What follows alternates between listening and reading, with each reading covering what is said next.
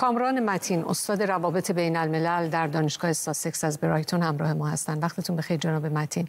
صحبت های گوترش در مرز رفح واکنش تند مقامات اسرائیلی رو به همراه داشته و این سازمان رو به یهودی ستیزی متهم کردن. اختلاف میان اسرائیل و سازمان ملل که هر روز هم داره شکافش بیشتر میشه چقدر احتمال رسیدن به یک آتش بس رو به تأخیر میاندازه؟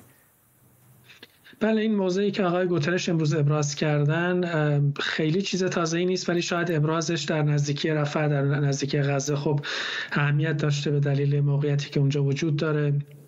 کمک هایی که اونجا وجود داره و هنوز امکان ورودشون به غزه نیست. و انتقادات اسرائیل هم از سازمان ملل تازگی نداره. یعنی اسرائیل همیشه معتقد بوده که به خصوص مجمع عمومی سازمان ملل که درش بالاخره حق وتو وجود نداره و اعضا حق برابر دارن بیشتر جانب فلسطینی ها رو گرفته در منازعه که وجود داره بین دو طرف.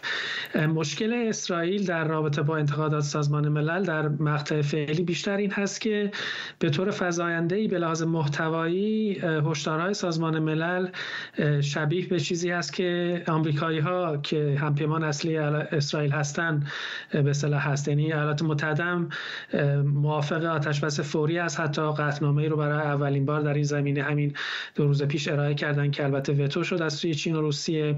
اونها هم معتقدن که حمله به رفح موجب یک فاجعه انسانی بزرگتری خواهد شد و از اسرائیل خواستن این کارو نکنه. در نتیجه اسرائیل به شکل فزاینده حداقل در سه بین‌المللی خودش رو در این زمینه تنها می‌بینه.